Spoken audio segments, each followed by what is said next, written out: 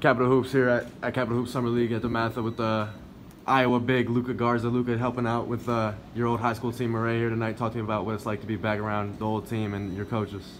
Oh, it's awesome to be here. You know, it's a lot of memories playing in DeMatha Summer League. You know, I, I played here twice uh, for Summer League, so it's a lot of fun. And, and, one of my teammates through high school, Austin Vereen's helping out coaching, so I thought I'd come by, see the game, kind of help the guys. I've worked out with some of the guys and me and Coach, all the, me and Coach Avon and Drizel are really close still, so it, it was a lot of fun.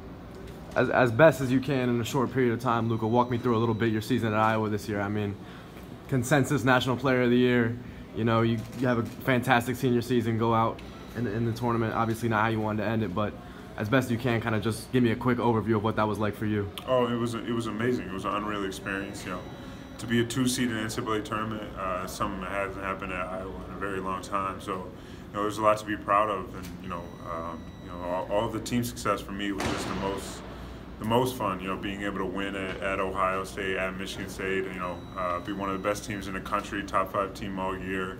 Uh, it was a lot of fun. You know, obviously we didn't make it as far as we wanted to, but you know, there's, there's a lot to look back on and be proud of. For sure, and just the last thing. I'll, I'll, take take your time for is uh, walk me through what it's been like to get ready for the NBA draft uh, this summer. It's been amazing. You know, when I when I was in college, you know, I needed to be a little bit bigger, a little heavier, and you know now I've slimmed down. You know, dropped 24 pounds. I'm feeling really good. Uh, very, very, you know, a lot more mobile, a lot quicker, um, and, and, so I'm ready to go, uh, and I'm excited. All right, Luka, thank you. Appreciate you taking the time yeah, to talk to us, and uh, good to see you again. Yeah, for sure. Thank you.